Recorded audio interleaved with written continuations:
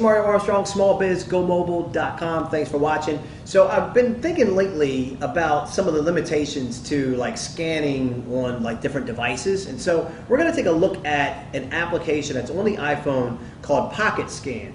And one of the things that I really, really like about Pocket Scan is with an iPhone, you can only really send one image at a time via email.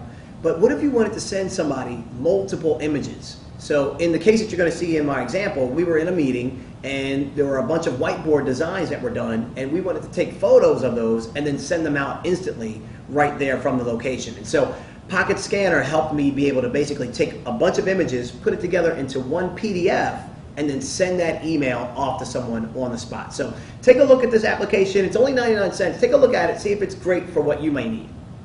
All right, so let's take a look at um, Pocket Scan. It's a, a 99 cent application that's available on the iPhone currently, but other scanning apps can be found on BlackBerry and other phones. But today we're looking at the iPhone and looking at Pocket Scan is the name of the app. So once you pull it up, the thing about this is that you can actually scan uh, different things. It really uses the cameras the, the, the camera on the phone to actually do the scanning. So I'm just going to run you through a quick example.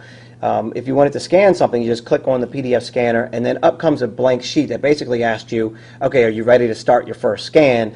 And I'll say I'm going to scan a page. Now, you could use the camera to then actually take a picture of whatever it is. Maybe it's a receipt, maybe it's a, a document, maybe it's a, a contract, whatever it could be, you could use the camera. In this case, I'm going to skip ahead of that for a second and just use the photo library. Now these are photos that I've already taken on my phone at some given point. And I'm going to actually scroll to a section that are more uh, business related types of images that I think one could use. So this was a meeting that was taking place with a bunch of uh, whiteboard images. So we were in a meeting discussing building a website and a new website design and it was all being done on a whiteboard. So we captured the images, we took pictures from the iPhone, and now I'm basically adding these photos.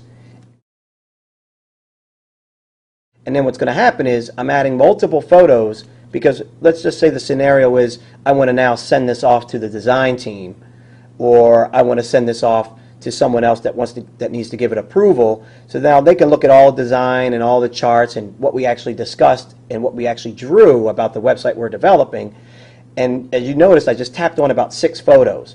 Well, one of the limitations to the iPhone is that you cannot send multiple photos at the same time in an email. So one of the reasons why I really like this app is just because of that. Now you can see all the images that I basically pulled out of my library are now sitting in here. It's a total of seven of them.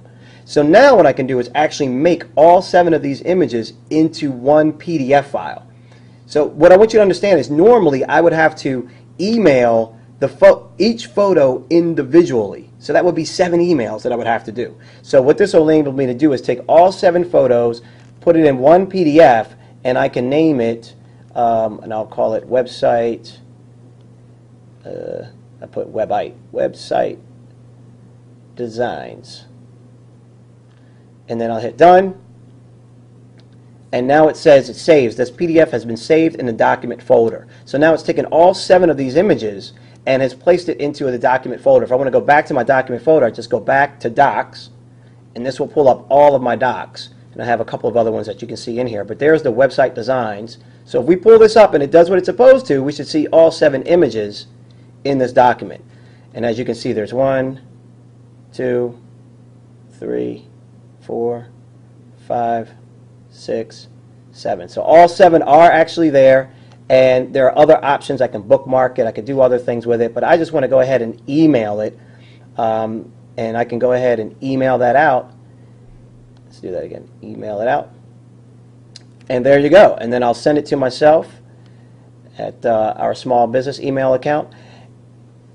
And now what you can see is basically all seven of those images have been sent out in one email. So this is a really, really big time saver to me. Um, and it's, it doesn't really do like what you think it would do is like actually grab the phone and scan across a sheet of paper. It just uses the camera on the phone to make your PDFs. But here again, it's 99 cents. It's got a great rating on iTunes right now. Looks like it's at a five star. A lot of good comments about it. And I've been happy with it. It's been working really, really well. And I'm going to continue to use it for other things. Oh, I should show you one other quick thing about it. Um, in, in the actual, say you look at an image, you actually have some options for the image. You can increase or decrease the exposure, so maybe it was too hard to see. Uh, so you can increase that. Or kind of like your black and white contrast, you can give it a little bit of a different feel to it. You can also even crop the images which is great. You kind of just drag and crop what you actually want to save and what you want scanned. So it has all these other little things in here that I think are really, really great that really makes it worth the 99 cents. I wish there were some other things, but for 99 cents, you can't go wrong with Pocket Scanner. All right? All right, until next time, I'm Mario Armstrong. Let us know if there's any other apps that you would like us to review, and you can tell us by going to our website, smallbizgomobile.com, or following us on Twitter at smbizgomobile and you can always send us an email at smallbizgomobile at gmail.com. Alrighty, happy scanning. See ya.